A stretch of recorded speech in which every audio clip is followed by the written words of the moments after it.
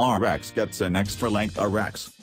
Lexus is meaning to advance the accomplishment of its gigantic offering RX hybrid SUV with the presentation of the more extended, 3-push 2018 Lexus RX 350L and RX 450HL.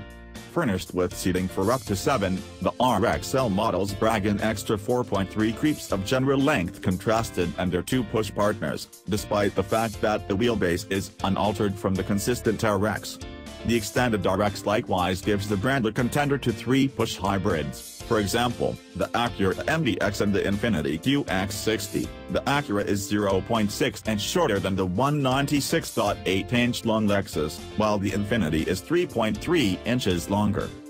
The More RX additionally includes an updated tail with the more upright back window, the better to augment third push situate space.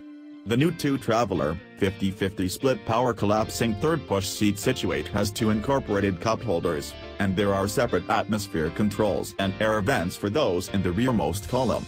While calfskin upholstery is standard, it doesn't stretch out to the third line, vinyl is utilized there. The standard 40-20-40 split second push seat situate has space for three, on the other hand, a couple of accessible container seats drops the most extreme traveler ability to six. With every one of the three columns of seats upright, there's only 7 cubic feet of baggage space behind the third line.